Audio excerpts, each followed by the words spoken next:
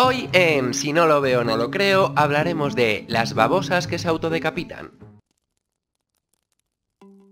Estas babosas de mar de las que vamos a hablar en el vídeo tienen de nombre científico Elysia cf marginata, encontrándola en Japón, Australia, la isla de Moria en la Polinesia francesa y en el atolón de Palmira, perteneciente a los Estados Unidos. Y también tenemos a la Elysia troviridis, que la podemos encontrar en Japón y Corea del Sur. El término Elysia se utiliza para designar un género en concreto de molusco pistobranquio, es decir, de babosas de mar, que es al que pertenece. El CF de la Elysia cf marginata es una abreviatura de la palabra latina conferir, que significa referirse o comparar con. Por lo tanto, la Elysia CF marginata quiere decir que es muy parecida y por lo tanto comparable a la Elysia marginata, pero aún siendo parecidas siguen siendo especies diferentes y por lo tanto hay que hacer distinción entre ellas. De hecho, la Elysia CF marginata tiene los parapodios carnosos y la Elysia marginata sin el CF tiene los parapodios delgados. Los parapodios son los apéndices que utilizan para poder reptar. El término marginata hace referencia a que estos parapodios tienen en sus márgenes el color rojo y en cuanto a la Elysia atroviridis, viridis significa verde en latín y atro oscuro, por lo tanto hace referencia a su apariencia física de ser de color verde oscuro. El hallazgo de que estas dos especies pueden autodecapitarse ha salido a la luz recientemente, en marzo del 2021, gracias a la estudiante de doctorado Sayaka Mito y su profesor Yoichi Yusa, de la Universidad Femenina de Nara, en Japón.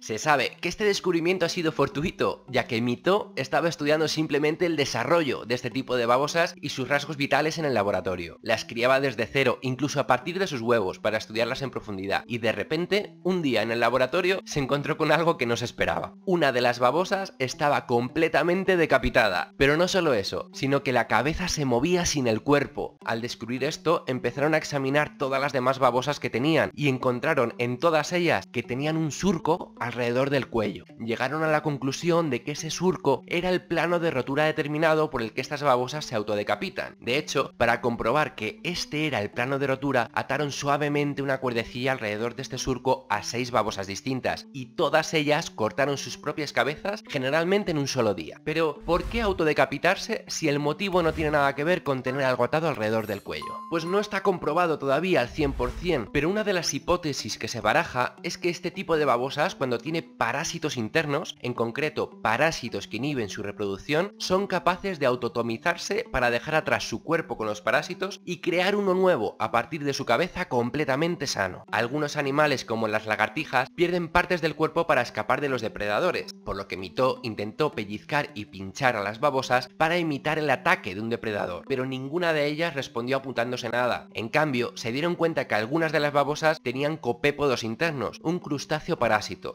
así que la hipótesis que más concuerda sería esta, aunque aún está por comprobar si es la correcta y si hay otros factores involucrados para que se pueda dar la situación de autodecapitación. Otro aspecto que llama la atención de estas babosas es ya no que se autodecapiten, sino que tal y como dijimos antes, es capaz de crear un nuevo cuerpo empezando por el corazón a partir de su cabeza, y mientras tanto, su cabeza sigue viva, sin órganos. Pero, ¿cómo hace para seguir con vida si todos los órganos de su cuerpo, incluyendo el corazón, están separados de su cabeza? Pues esto es porque estas babosas marinas del clado sacoglosa hacen una digestión un tanto curiosa. Se alimentan de algas, hasta ahí bien. Las algas, como sabéis, realizan la fotosíntesis y para poder tienen unos orgánulos celulares que se llaman cloroplastos. Pues este tipo de babosas, al consumir estos cloroplastos, en vez de digerirlos, los incorpora a su propio organismo por un tiempo limitado. Es decir, que estos cloroplastos pueden seguir fotosintéticamente activos dentro de su cuerpo durante varios días, el tiempo necesario para proporcionar a la babosa marina extraer la energía suficiente del sol para permanecer con vida hasta regenerar su cuerpo completo. Esta habilidad de asimilar los plastos de organismos que por ellos mismos no los tienen se llama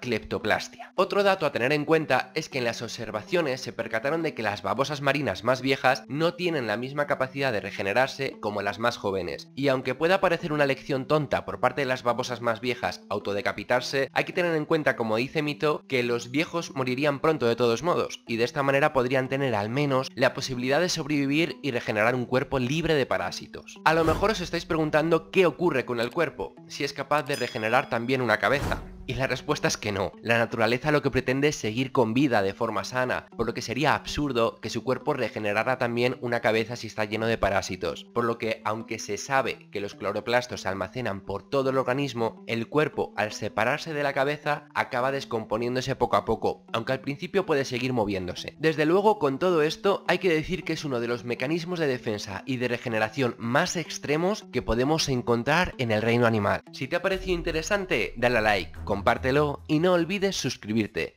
Nos vemos de nuevo en el siguiente vídeo.